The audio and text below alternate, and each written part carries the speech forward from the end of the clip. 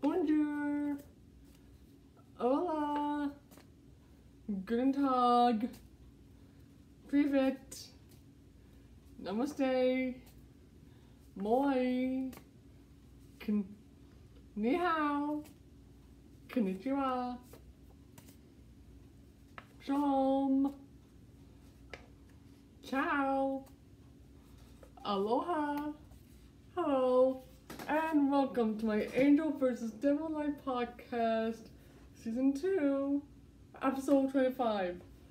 We are in for a hot weekend, aren't we? So here's some tips of how to survive this weekend in the heat. Tip number one, wear very light clothing, like this. And t-shirts and shorts. Tip number two, make sure you have your hair off your neck. Because it gets really, really hot this time of year. Number three, put on lots of sunscreen. Number four, drink lots of water. It's important to keep yourselves hydrated.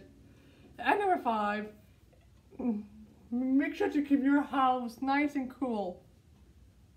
Like closing your drapes. Turn off your lights. And rule number six, tip number six, if you have a dog, like I do over here, be sure to go on less walks. Well, don't go on less walks, but um, make sure you go on shorter walks. You don't want to burn your pet's feet. Mm-mm. And that's all I have for you today. Thank you so much for watching. Tune in tomorrow for my 26th Angel versus Death. Thank you so much for watching. Tune in tomorrow for my 26th Angel versus Devil podcast.